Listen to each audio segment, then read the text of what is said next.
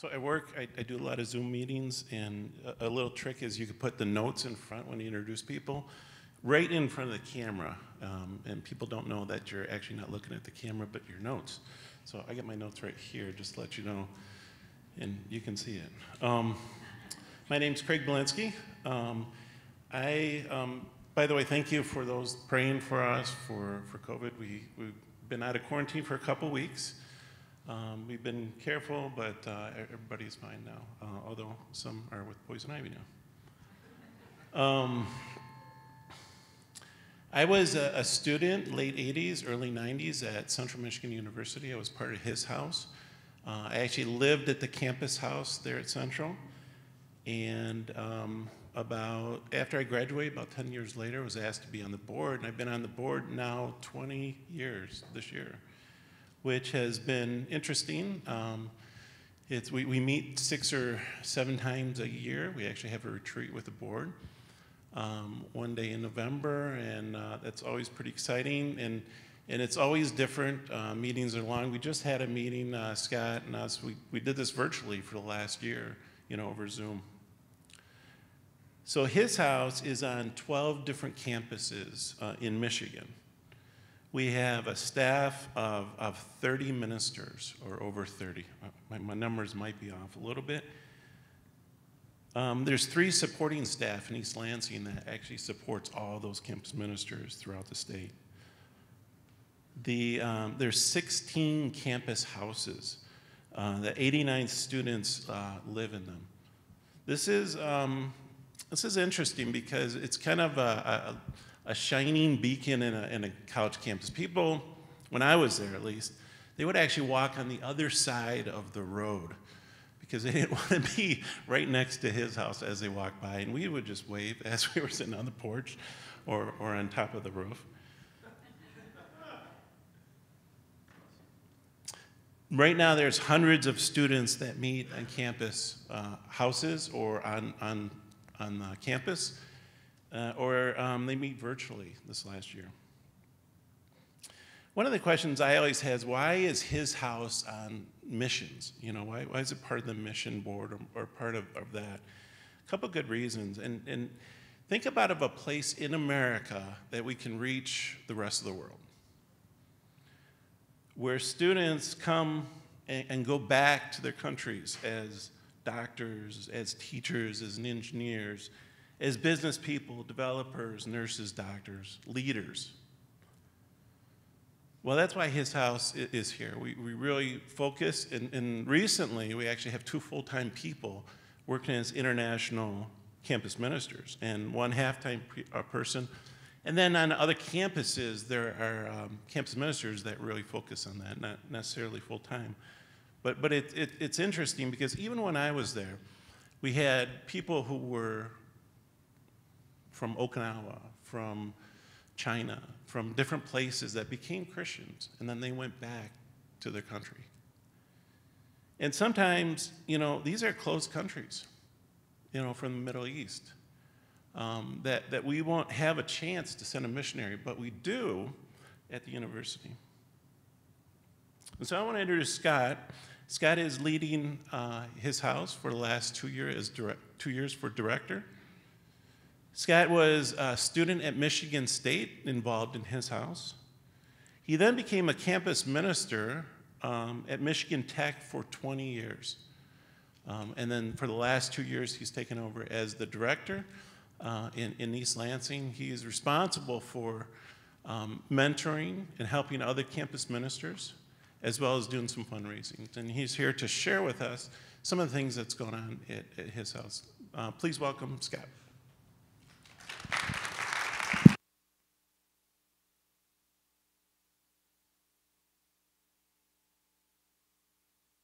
Successfully turned this on. I did, yes. Excellent. Um, I just had to do a little bit better than Craig. That was the goal there. um, it's been fun uh, working with Craig, and I'm so glad he's on our board of directors, and so glad I, am so glad to be back here with you guys. I was here a little less than a year and a half ago, and I had a great time with you, and I, have really been looking forward to coming back. So, um, thank you. This has been uh, excellent. Um, I'm here with uh, three of my children. Um, and uh, there, there, they can wave. Uh, my, my wife and my oldest are at home because my oldest uh, is in the band for the graduation, um, so she's got things to do. A senior or junior in high school, as you know, that gets a busy time. Um, good. So I want to tell you a little bit about uh, campus ministry. Um, so a few things at the beginning, and then I'm just going to tell you a bit about how we think, how we do things in campus ministry. And my hope is that that's encouraging and challenging to you all. Um, uh, as it is to us. So, first of all, I want to say uh, thank you. I think last week you showed a video. Uh, I think I might have been here virtually last year in a, last week in a recording. Did you? Was I? Okay, good. That's good. I, I don't remember it, but um, I'm sure I had a great time. Um, so, I was telling you about this awesome thing we're doing. We're getting our staff uh, new computers, and that process has already begun. And you still have an opportunity to participate in that. As you know, more and more uh, having the right technology makes uh, eases the ability to get out the message of Jesus, to build some relationships in ways that we've never had before. And really, this past year, um, COVID and social distancing has really helped us uh, take hold of that. So uh, there's still an opportunity to do that, and I'll, mention that uh, again at the end. I, I want to tell you about one other thing that we're doing, and uh, one of our campus, one of our 12 campuses is at the University of Michigan, which I believe is the closest campus to Brighton. Is that correct? Do you have any University of Michigan fans here? A few? All right, good. I, I'm, I'm, I'm a, I graduated from Michigan State, so I can't get my hand too high there. But tell you what I am excited about. I'm excited about students at the University of Michigan. I'm excited about them hearing the gospel. I'm excited about them being discipled into future uh, leaders who are going to lead other people to Jesus for the rest of their lives. And we have such a tremendous opportunity. So we've been there for 42 years. His house has. We have a campus house there. But the last few years, we haven't had. Um, a strong student presence. We've only had one part-time campus minister there, and we talked a couple years ago, and he said, "We just we need more people. We need to invest more at the University of Michigan. It's not a place that we can't reach. We're just not doing enough." And so we are relaunching uh, that campus ministry, and so there's a video that's going to tell you a little bit about that. The University of Michigan is one of the most recognized and recognizable universities in the world. It's a gathering place for emerging leaders. It's a training ground for innovators and influencers who will go on to shape generations. And one of the most recognizable buildings on campus is right here, Angell Hall. Above its impressive limestone columns is an inscription that reads, Religion, morality, and knowledge being necessary for good government and the happiness of mankind schools and the means of education shall forever be encouraged. But no amount of religion, morality, or knowledge will ever restore our world or offer people a lasting hope. So for the last 40 years, His House Christian Fellowship has served this campus by sharing the good news of Jesus' kingdom and the hope of His restoring power. And over the next 16 months, we're preparing and planning an exciting relaunch of our ministry here at the U of M. Building on years of experience, we're assembling and training a new staff team to engage today's students with today's challenges with the never-changing gospel of Jesus. We're asking churches and friends, students, and alumni to help get us started by joining us at Cycle the Campus on June 5th. Together, we'll run or ride across campus to raise valuable financial support for our relaunch planned for September 2022 we need your help to change the world. Find more information or sign up online at cyclethecampus.org.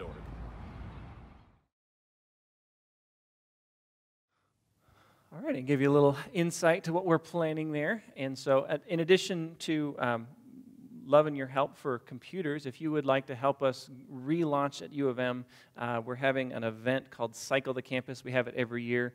Uh, you can participate in it if you want. You can uh, ride your bike for 12, 36, 48 miles. Uh, or you can uh, run a 5K, or you can do a, a, walk and pray around University of Michigan's campus. Uh, and that is in two Saturdays from now, June 5th. Um, so you can participate. You can find out more at cyclethecampus.org. Uh, I'll mention that here again at the end. Uh, well, as I said before, I want to help you understand how we at His House think and how we do things uh, a little bit uh, a picture of the inner workings, and I think you'll find it uh, helpful, and encouraging a, as well. And so uh, I want to talk about one thing first, and that is how we at his house think about the Bible, right? Um, so we are a restoration movement ministry. Uh, and this church is a restoration movement church. It's probably not something we talk about a lot, it's just about history. Um, but what you recognize probably is the same way we handle uh, the Word of God. We, we believe that the, the Bible is God's inspired Word, it tells us what is true. Uh, and it tells us what to do. I often tell people that what we do is we read the Bible and we do what it says. Uh, that's our, our simple perspective. Uh, of course, it is more complicated than that. The Bible doesn't address, address every single thing that we need to do in our lives. We don't, uh, it doesn't address every decision we need to make. Um, the Bible isn't going to tell me how much I need to eat for breakfast. Like I had two donuts this morning. I think that probably was half a donut too much, right? Um, but I didn't read in the Bible about that. I just something I have to uh, uh, figure out. It doesn't tell me when or how often to brush my teeth. My dentist does that. Um, it doesn't tell me whom to vote for. Um, the internet tells me that. Um, it, it, doesn't tell me, um, you know, eh, big decisions in your life. It doesn't tell you what you should do for your job. It doesn't tell you who specifically you should marry um, um, or where you should live. Uh, so the Bible gives us the core. It gives us the foundation. It gives us the truth. But God has also given us uh, His Holy Spirit.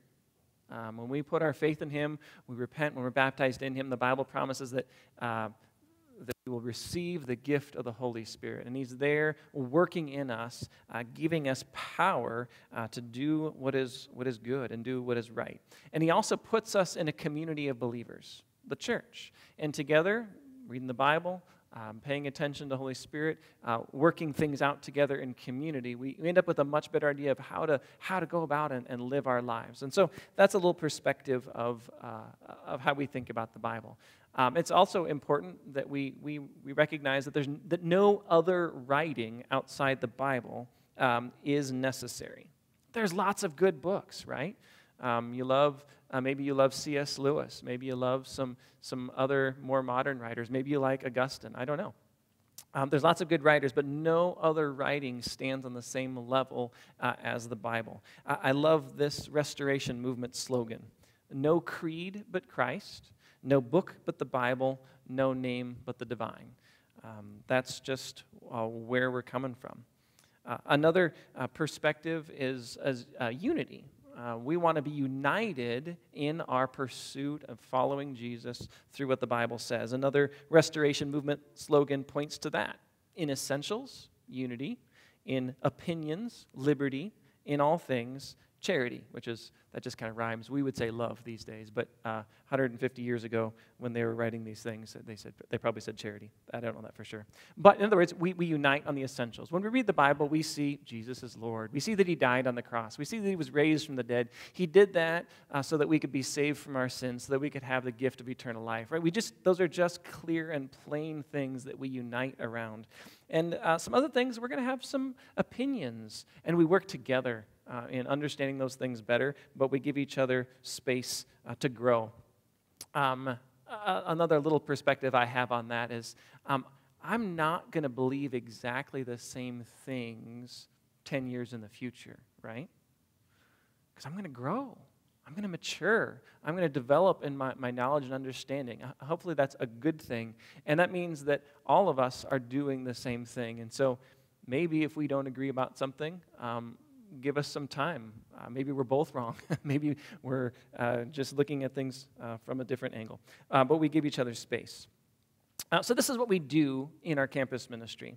Um, so I'm gonna. I wrote this a couple weeks ago. I'll just read it. Um, we prefer to lead people, lead students, to read and study the Bible for themselves so that their authority is God and not us, right? I don't want to tell you what's true. I want you to look to the the Word of God and see what's true so that you can be trusting Jesus and not me.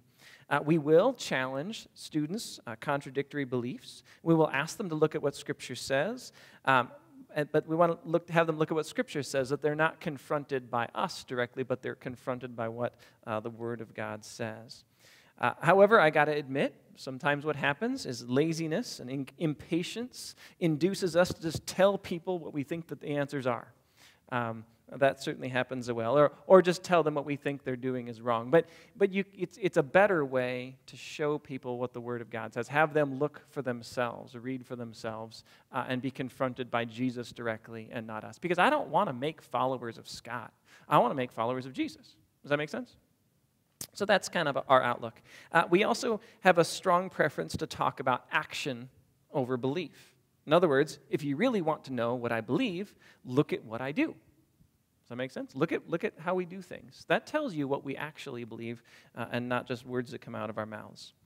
Um, we do serve stu- students from a variety of Christian and non Christian backgrounds, uh, but we don't, with, we don't hold back from engaging them in controversial topics. We will often engage students on topics such as baptism, sexuality, spiritual gifts, money, generosity. These are, these are all controversial things that people are going to disagree. But again, we're not necessarily telling them this is what's so. We're introducing them to what the Bible says so they can find out for themselves. We treat the Bible as inerrant far more than we actually teach that fact, right? I hope. Um, I don't know how well I'll do this morning, but I hope when you listen to me, you just know uh, that I believe that the Bible is God's word and it is inerrant. It's our sole source of authority. And I, hopefully, I don't have to tell you that. And so that's kind of how we interact with, with students as well. We want to uh, treat it that way. We, we constantly invite students to look to Scripture as their authority. Uh, we train them to adopt that, and we train them to adopt that attitude for the rest of their lives. Um, uh, we'll also help, help them see uh, help some students see that they can trust the Bible, demonstrating its reliability and goodness. Um, so that's just a little perspective, and um, I guess my hope is that's not a big revelation, and that's pretty similar to what's, uh, what's going on here. Um, but I think how we think about the Bible, how we, how we treat it, really impacts the rest uh, of our ministry. All right, the second thing I want to share, and that is how it is that uh, we think about making disciples right? Uh, how do we go about make, making disciples? Uh, we have a mission. We have a calling. We have a gift. And as Paul says it, we have a grace from God. I, there's a, a little bit in Ephesians 3 where Paul's talking about God's grace, but I like how he talks about it here. Um, he says, Of this gospel I was made a minister or a servant according to the gift of God's grace. Oh, by the way, God's grace. That is God's favor towards us. That is his desire to bless us. That is his desire to give us. It's the same root word as gift. So, gift and grace are really closely tied together. So, when he says, uh, This is the gift of God's grace, it's like, I am so blessed to be a servant of God. That's something that God blessed me with. And he, he says, which was given to me by the working of his power. So God worked his power in us, enabled us to be his servants. That's such a blessing. Then he says, To me, though I am the very least of all the saints, this grace was given to preach to the Gentiles the unsearchable riches of Christ. So he says, I, Paul, I am the least. And saints, by the way, Paul's not calling himself something ex, like an extraordinary Christian. He's just calling himself a Christian. A saint is just one who has been made holy uh, by God, which describes all who are followers of Jesus. And he says, I am the very least of these saints. Why does he say that? Probably sees some significant inadequacies in himself. Also sees a pretty rough history before he came to know Jesus. But whatever the reason, he says, I'm the least of them. But this grace was given. God blessed me with this thing so that I could preach or I could share with the Gentiles this the unsearchable riches of Christ, to bring to light for everyone what is the plan and mystery hidden for ages in God who created all things. So Paul felt that it was a precious gift from God to be given the task of preaching to the Gentiles. Um, and he, he didn't see it as a burden. He didn't see it as something he had to do. He saw it as something that he was privileged to do. And, and we at his house, we feel the same way uh, that it is a privilege, it is a precious gift from God to be given the task of sharing the gospel with college students and helping them mature in their walk with Jesus. Basically, we have we feel privileged to have the opportunity to work with college students. It's the best thing ever. Uh, I'm going to stick my foot in my mouth here for a second, but then I'll try and recover here. So um, I remember uh, when I was first beginning in campus ministry and telling people about it. I was going to be, I'm going to be a campus minister at Michigan Tech, and people were like, "Oh, I don't know what that is, but you sound excited about it. That's awesome. Um, and then they would ask another question, which is, uh, so um, are you are you going to like have a real church someday? Uh, and I was like, yeah, man, church is good, but what I'm doing, I, I just this is my own perspective, my own calling from God. Like, what we're doing, it's better.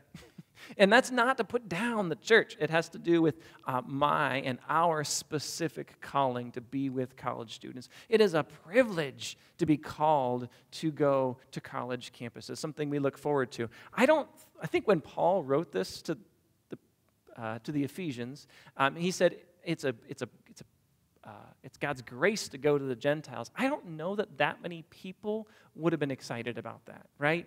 I don't think we feel that because we think, oh, we're, we're Gentiles. Obviously, he was privileged to come and tell, you know, come to us so we could hear about it, right?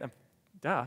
Um, but I, I, don't know. I, I, think in a lot, of, a lot of ways, a lot of people would be like, yeah, I don't really want to go to the Gentiles. That doesn't sound exciting. Why don't we just stay with the Jews? And why don't we, why don't we share the gospel here where it's comfortable and safe? And Paul's like, no, I got something so much better. I'm so excited about it. And everyone looked at him like, okay, you, you do that, Paul. I kind of feel the same way about campus ministry. I mean, it's not the normal ministry thing to do. It's hard to describe to people. And oftentimes, when we're on campus with students, we want to say, Hey, you want to come to his house? And they go, What's his house? And they say, Oh, it's a campus ministry. And they go, What's a campus ministry?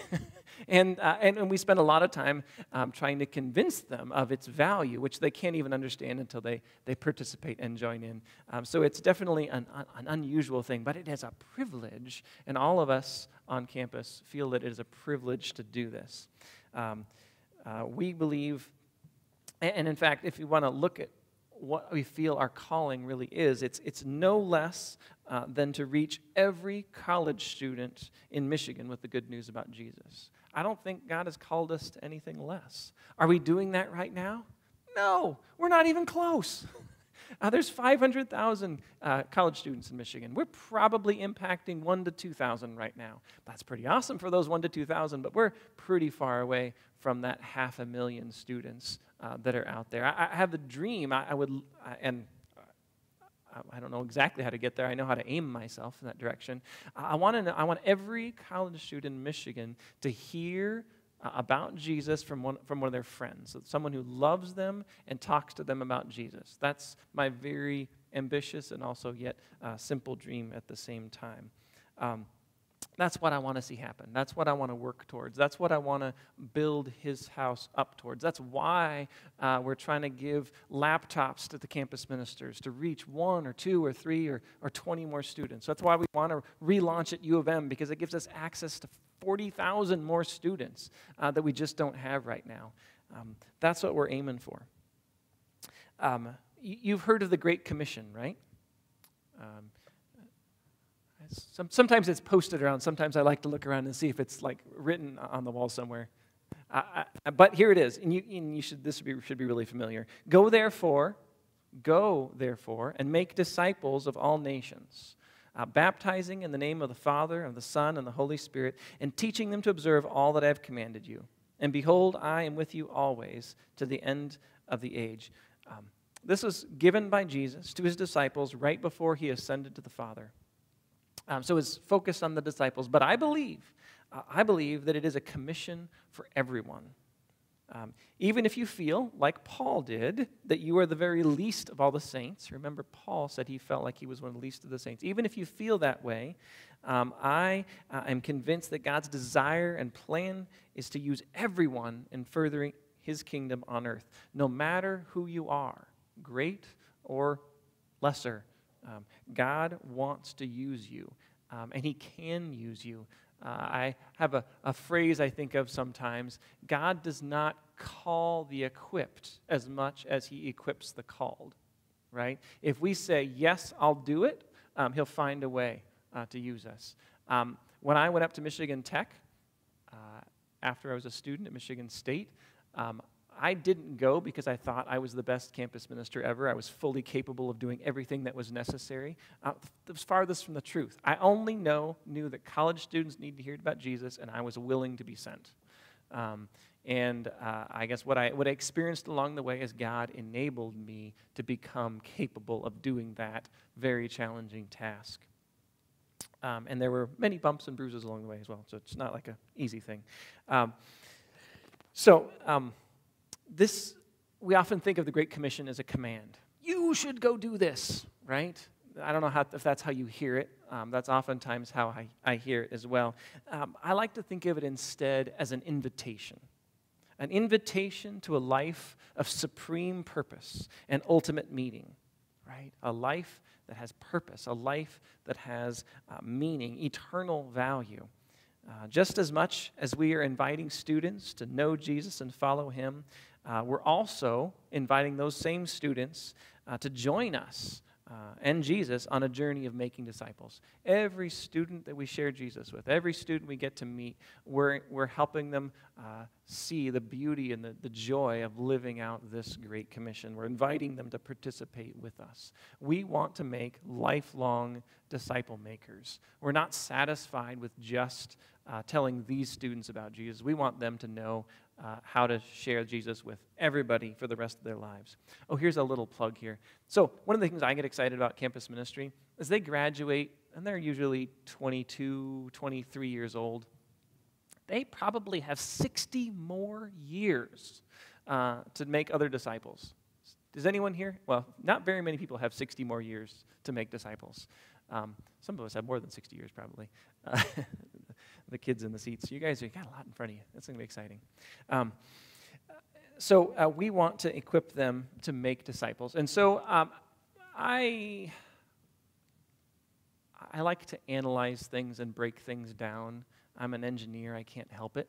Uh, and so uh, I have uh, broken things down into, into six steps that I think will be helpful. They're helpful to college students, but might also be helpful uh, to all of us here in the, in the how to. So, this is just a little how to guide in making disciples. Maybe it's obvious, but hopefully it'll be uh, encouraging.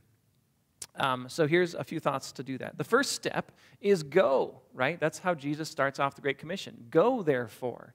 Um, starting point for making disciples is meeting new people, right? You have to meet new people if you're going to make more disciples. That's certainly collectively true. If we in this room want to make more disciples from people outside this room, we have to go meet them. Um, uh, it's a simple principle. I am here. People are there. I must go from here to there. Um, and that's a very simple concept, but is that easy? Is it easy to meet new people? No, it's, I mean, in theory, it should be, right? There's me, there's you. I say hi, they say hi back. Um, man, we, I met somebody. Uh, but it is, in fact, uh, a challenging thing. Um, I'll share with you my, my biggest struggles uh, with that. Um, I have two, and one is busyness, the other one is fear. Uh, I fill my time with tasks and already existing relationships. Not bad things, but I don't tend to leave extra time where I can go and meet new people. Um, I'm also, when I am around other people, sometimes I don't even notice it. Um, uh, here's a, a, funny story. So, um, on my way home from Western Michigan uh, on Wednesday, I was a little bit hungry. I thought I should stop and get some food. I saw an Arby's. I went to the Arby's, and you have to do the drive through. And um, I thought that was kind of fun because actually Lillian, our, our oldest uh, daughter, uh, works at Arby's, working the drive through window. And so I just thought about her and I thought, oh man, it'd be nice to bless this, um, this, this young woman who's uh, at the drive through window. And um, I was actually kind of proud of myself that I even thought of that as a person with feelings and a day and like things that happen to them, right? I don't know, do you struggle with that? Like you just forget that people are actually people and they're really experiencing life just the same way we are. So I was really proud of myself for, um, for remembering this. It's like, oh, what should I do? And, and um, I had these, um, so I have these You Are Loved magnets, which I have for all of you if you want them as well. I'll tell you more at the end. Um, so I had this, this pile of magnets next to me. Next to me. It's like, oh, yes, I'm going to give uh, this, this, uh, this woman, I didn't know her name, um, a, a magnet because I just think it has a good message. You are loved, right? Like, just something really basic to make her life just a touch better. I don't know that we'll ever see each other again. Uh, and so I, I reached out the window and I, and I was going to hand it to her, and then it dropped, and then um, was like, oh no, and I'm in the front of the line, and then I opened my door to find it, and I felt around, I couldn't feel it, and, and then there's people behind me, and I and actually, you know, I was up close to the doors, so I couldn't even get out of the car. Uh, and so then I realized that I was just being a nuisance and I was in the way. And I said, oh, I'm sorry, I'll get out of your way. And I drove off and I, and I ran over the magnet. so, you know, it doesn't always go smoothly. I'm just, just saying that, okay?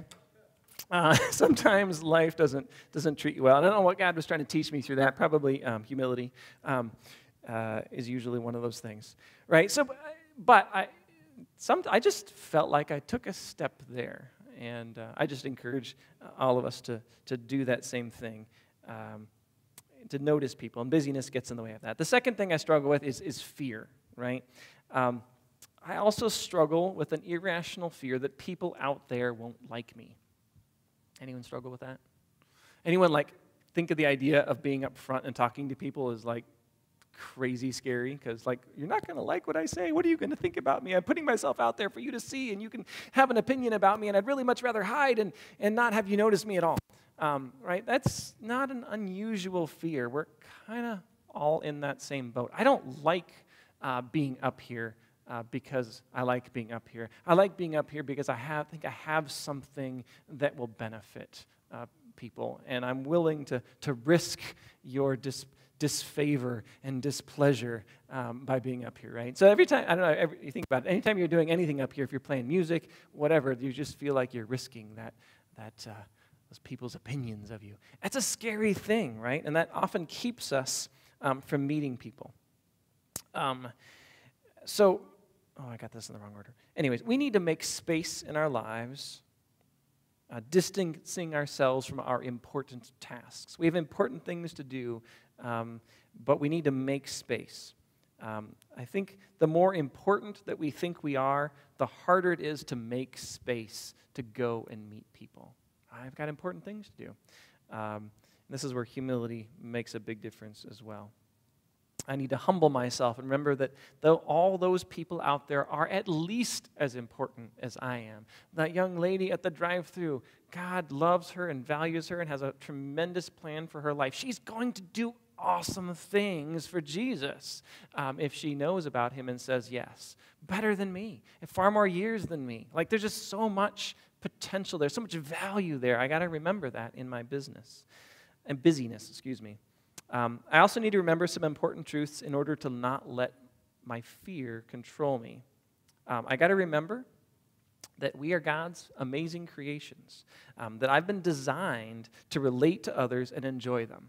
Like, that's part of my purpose, and that requires uh, meeting new people.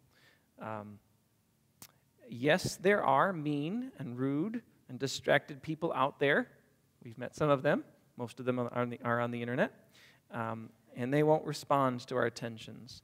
Uh, but the biblical truth about our relationships with God is that, that um, love has the power to overcome that fear. And sometimes I need just a really practical little thing to remember. Um, there was uh, a, a, TV show, Saturday Night Live, which I never watched as a kid. I heard about because um, I was never allowed to stay up late enough to watch Saturday Night Live, but everyone else apparently did. So they, they would tell me about it. But I remember one thing, uh, which was uh, daily affirmations with Stuart Smalley. He would kind of finish his looking thing and look in the mirror and say, I'm good enough, I'm smart enough, and doggone it, people like me. And uh, it sounds silly, but you know what? That's actually closer to the truth than our fears of what people will think, right? Like people actually like you. Um, you're probably here with somebody. You know people here. We like each other here. Um, that's not an accident. Um, that's what God made us to do and to enjoy. And so we can go, we can meet people, uh, and we can encourage and help each other uh, to do that. Um, second thing we need to do, in addition to meeting people, is we need to make friends with people. Um, uh, of course, meeting people is necessary, but the next step is just as important making friends. Um, in my experience, uh, sharing the gospel is more often than not an ongoing conversation um, rather than a one time presentation. We often think of sharing the gospel as, I'm mean, present something to you, and I have done that, and that's good as well, but more often than not, it's an ongoing conversation. I can think of a couple people where I sat down and shared the gospel with them, and then I sat down and I shared the gospel with them. And then I sat down and I shared the gospel with them. And that was just the process uh, of helping them through that. And In the meantime, I was there with them. I was listening to their struggles, listen, mourning with them when, their when their father passed away. Um, and so, one of the keys to sharing the gospel is making friends, building uh, relationships. Because I think friendships are the context for the gospel. That's what helps the gospel make sense. When Jesus sent his disciples out in Matthew 10, I don't know if you recall, there's a couple times when he sent out his disciples, um, he said uh, he wanted them to stay with those who were worthy until it's time to depart. Um, they didn't just go and talk to a bunch of random people. They found a household and they stayed with that household until it was time to move on to the next thing. That means that those people who heard the good news um, didn't just get to uh, hear it and hear the message, they also got to see it at work in the lives of the people uh, who were bringing the good news. They were spending their lives together, at least uh, for a short time. Um, I'm sure you've heard the saying people don't care how much you know until they know how much you care. That's true, right? Um, when they know that you love them, they have an understanding of maybe what God's love means for them as well. Uh, when they see your sincerity and authenticity, which they can only experience in a relationship, then they can also understand that you're, you, that this gospel that you're talking about has impacted your life, and you're sharing with something that was beneficial to you as well. Um, so, um, here's a couple how to tips for making friendships. You probably know all these. Um, first one is that is to pursue people. People want to be pursued. You can be sure of this because you love it when people think of you and invite you to something. Do you like to be invited to something? Do you like it when people think about you and send you a quick note? Of course you do. Uh, so does everybody else. Uh, regardless of how they respond to it, people want to be pursued. They want to know that they have value. Uh, they want to be enjoyed by other people. Um, maybe, maybe not uh, telemarketers and spammers, right? You probably don't want to be pursued by somebody who has a great deal on auto insurance uh, or on, uh, oh, the warranty. Your warranty ran out. By the way, I want you to know your warranty ran out. Um, uh, you've probably heard that before. Um, but sincere people who want to bless you instead of get something from you. Um, you, want, you like those people in your life. A second practical thing is that we want to invite people into our lives. Share what you're doing with other people. I remember um, we had a couple apple trees in our yard when we lived up in Hancock, and I didn't. They just made a mess on the yard because made apples. They fell down, hard to mow, and so I thought, well, we should do something with the apples. And so I invited some students over. It's like, hey, can you uh, pick up the apples? And uh, maybe you can uh, chuck them against the back concrete wall, right? That'll be fun. And uh, we did that. And the ones that were still good, we picked them and brought them inside, and we uh, we just made appley things with them apple cobbler and then eventually we graduated to apple butter and apple jelly and other things. And, and finally after a few years this turned into apple palooza. Uh, sunday sunday sunday. Um, and, uh, and by the time i left students are like well who's going to do apple palooza when you leave? Well what do you mean who's going to do apple palooza? I just did that because it was fun Like, it doesn't have to be a thing, but they loved it so much. All because I just took something that I was doing and I invited people along. That isn't, I, I don't know about you, but that doesn't sound like that great of a thing. But because I enjoyed it and shared it, um, it made an impact on people, uh, strangely. Um, the last thing is we want to do is in, in building a friendship is be authentic. Uh, don't hide what's important to you in order to build a friendship. No one wants a relationship with a fake person, right? Um, they want the real you, even with your blemishes and rough edges. Um, this also means we shouldn't wait for the right moment to start talking about Jesus. Now is always the right time to start talking about Jesus with people around us. Doesn't mean we have to launch into a gospel presentation, but hey, if Jesus is important to you, you kind of expect that to leak out somehow. And that's the kind of relationship people want to have with us. Uh, third thing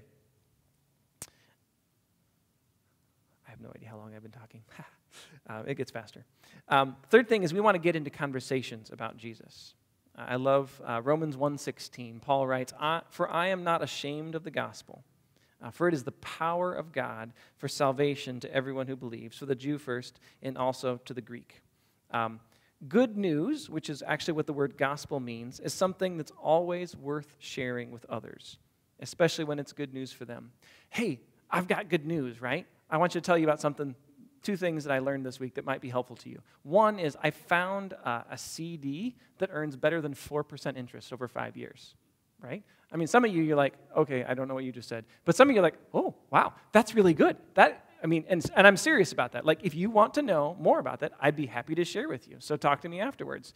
Um, uh, this, that's good news. Like, if I can help you earn more money with the money you have, then that's good news.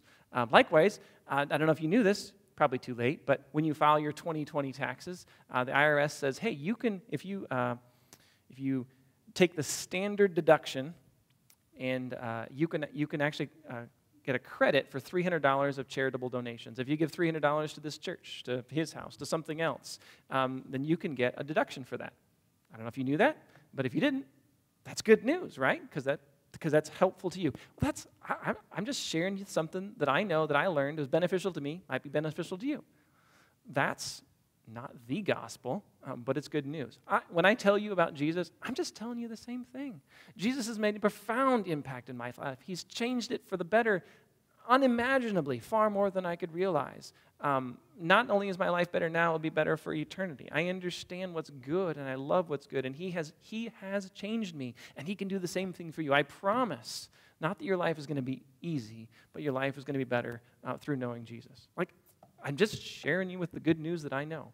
Um, and I'd love to talk about your specific context, right? Um, so, one of the things we want to do when we talk about Jesus is that assume, we need to assume that the people around us want to hear something about God desiring good for them. Like, people want to hear good news, and that good news includes things about Jesus, right? Um, another important thing to do is give credit where it is due. Tell people where you learned it. I learned it from the Bible. You can read the Bible, you can understand this about, about God. Um, Another important thing to do is we need to ask questions and listen to the answers. Uh, and it's good to ask deeper questions questions about values, purpose, passions, the meaning of life. All those things are going to lead to some conversation a little bit about God. Uh, so don't forget in your conversations to ask why. Be like a three year old. Why? Why? Why? Um, another thing, don't be afraid of conversations when you don't have all the answers. Your job is not to inform the ignorant, um, but to help people engage with their Creator. Just want to introduce you to the Jesus that I know. I'm not trying to inform you, I'm just trying to build this relationship. Um, uh, the fourth thing is uh, we want to communicate relevantly about the gospel. It's kind of related to what I said.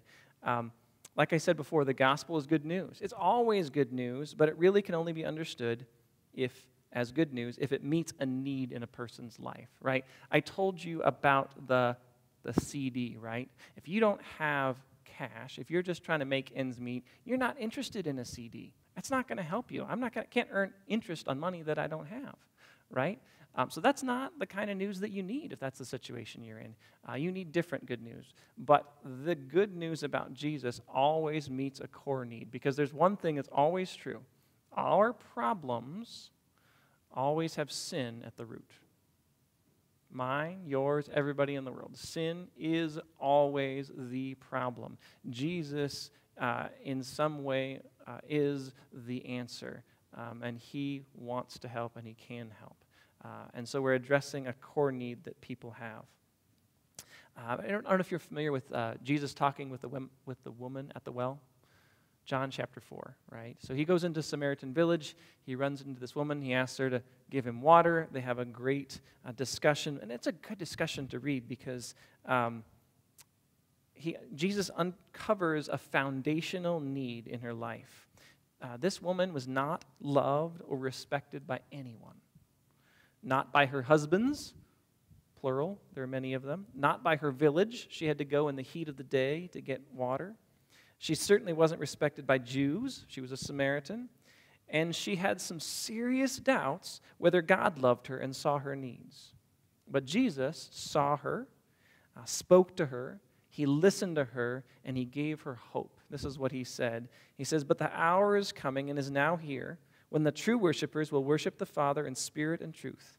For the Father is seeking such people to worship him. The Father is seeking such people to worship him. That, that is Jesus saying to this woman, The Father is seeking you. He wants you. He values you. He loves you, and He wants you with Him. Uh, God is spirit, and those who worship Him must worship in spirit and truth. Um, so Jesus told this woman that God was seeking her out, that He wanted her to become part of His people. He invited her to know and devote herself to this God who loved her and saw her. Um, and this, this uh, decision for, uh, that, she, that she made to devote herself to this God and this Messiah, Jesus, was life changing. She moved from being a pariah, an outcast in her village, to being their messenger of hope. You know what happened when she went back to her village and told everybody about Jesus? They actually followed her. They actually came and went with her. Uh, she had to be as surprised as anybody. Uh, so that's a good example uh, as well. Um, uh, last thing here. Um, is uh, we want to invite a, a life changing response. So, our, our goal in making disciples isn't to get to people to agree to a set of principles, right? Not, I don't want you to uh, have a checklist say, I believe this, I believe this, I believe this, I believe this. Uh, our goal in sharing the gospel is to lead people into a whole new way of living life. Uh, see, the gospel doesn't just secure a place in heaven for us, it doesn't just save us from hell, it saves us from sin. And sin is a problem right now. Uh, when we say yes to Jesus, we're asking Him to rescue us from slavery to sin. And He does this by providing us with truth, with power over sin uh, through His Holy Spirit, and with strength and encouragement from His people, the church. Um, it's not just fire insurance, as they say. Uh, we're offering a radical uh, new life lived by the power of the Holy Spirit. Um, and that's why, I think that's one, one of the reasons why uh, baptism is not just an initiation ceremony, not just something you, you go through in order to get uh, in to heaven. Uh, baptism is actually a death and a rebirth, right? We don't need a new religion. We need to have our sinful self die and then be born again from above. That is our actual need, and that's how Romans 6, for example, talks about baptism. Um, uh, so, um, there we go. That's just a little bit of, of how we think about. Um, and I want to say, I've kind of talked more about the meeting new people, but, but, but discipleship keeps going on. Uh, we want to help people in their walk with Jesus, uh, regardless of where they start. Uh, and so uh, we often think of evangelism and discipleship as two different things, but they're really the same thing. It's just discipleship with someone who doesn't know Jesus, we call that evangelism, uh, because they need to hear the good news before they can, they can live it out. Um, good. Well, thank you um, for listening to me. I hope it was encouraging for you, um, and uh, it's certainly fun for me as well. I want to remind you of a couple things. One is if you want to help us get uh, te- new technology so we can reach college students better, that is still an opportunity. I believe you can even do that on the on the church app, right? That's what I heard this morning, which is so cool. Um, uh, and the second thing is if you want to help us reach students at the University of Michigan, uh, go to cyclethecampus.org. Um, that will be helpful. Um, uh, you, this is a video that's available online, uh, and you can also uh, I can give instructions for anybody who wants so they can share it to social media and different things like that. Uh, but we could use your help there. And lastly, I have these cool magnets for you. I have a huge pile of them. So if you at all want this for yourself or you want to give it away to somebody, I have them for you. Just got to ask me for them. They're back at the little table there with a big, big His House sign there. So um, thanks. I'm going to pray real quick, and the next thing will happen. Uh, Father, um, I'm excited about uh, your work in, in, in my life, and I want to share that with people around me. And I know that's true uh, for us as well, Lord. Sometimes we don't feel uh, equipped, sometimes we don't feel ready, sometimes we're scared, God. And I just want you to walk with us. Give us uh, power from your Holy Spirit, uh, truth from your word, encouragement from the people around us uh, to walk, trusting you that this is good news for everybody. Um, Lord, we pray um, that you be at work in our lives, uh, in this community, uh, on college campuses, so that people know you uh, and uh, that your kingdom is, is grown uh, beyond our wildest dreams. thank you, Lord Jesus. We love you. Amen.